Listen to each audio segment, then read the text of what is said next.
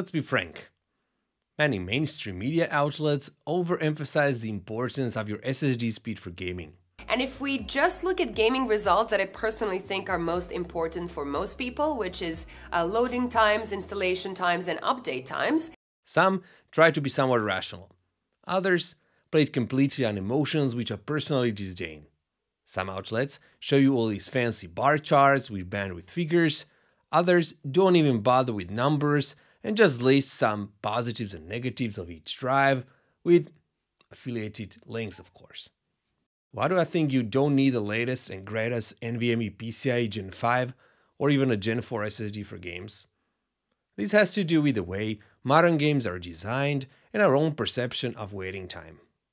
In every game, there are certain assets, such as game engine, which need to be transferred into the system RAM, and other assets, such as textures, which need to be copied into the video RAM. In the good old days, all assets were fully loaded upon the launch of the game. Over time, this approach changed as PC hardware capacity did not grow linearly with complexity and graphical fidelity of games.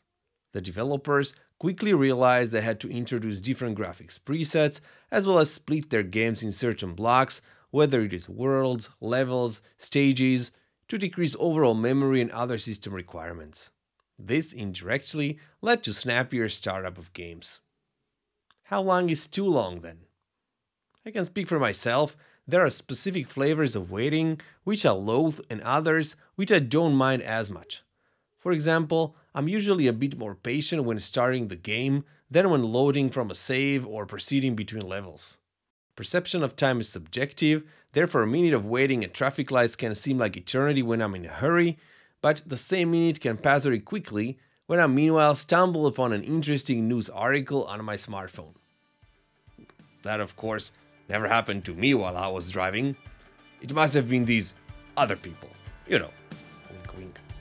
What I want to say is that unless you take a stopwatch and run benchmarks one after another like I did, will probably not be able to tell a few seconds of difference in loading times that take half a minute or so.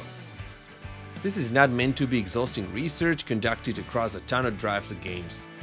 I have just handpicked a few games to see how much time one needs to waste waiting.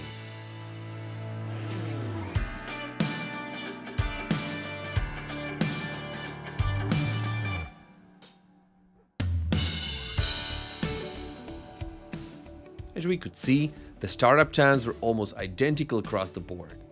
The load times were sometimes shorter with faster drives, but it wasn't a night and day difference. Surprised about the results? I think it has to do with the fact textures and other assets not only needed to be copied from the storage drive into memory, but also decompressed. That means the performance bottleneck was not the drive but the CPU. In the future, direct storage might reduce these decompression times to some extent, but the world hasn't seen too many implementations until the time of shooting this video. Does it therefore matter what storage drive one chooses for their computer at all? I hate to give you this kind of answer, but it depends on what you do with your PC. If all you do is play games, then it matters little, provided you don't run a mechanical hard drive. If, however, you use your rig for disk-heavy operations such as video editing, the speed of your drive matters a lot more. In any case, when buying an SSD, avoid those cheap QLC SSDs at all costs. Those with small capacity are the worst because the less free space there is on the drive, the smaller the SLC cache, and the write speed will eventually go downhill. No matter what the use case, I wouldn't go with the fastest drive available, but I would rather recommend choosing a drive with higher TBW rating, like I did in my previous video. I would gladly trade small performance degradation for a longer life expectancy. Thanks for watching and have a nice one.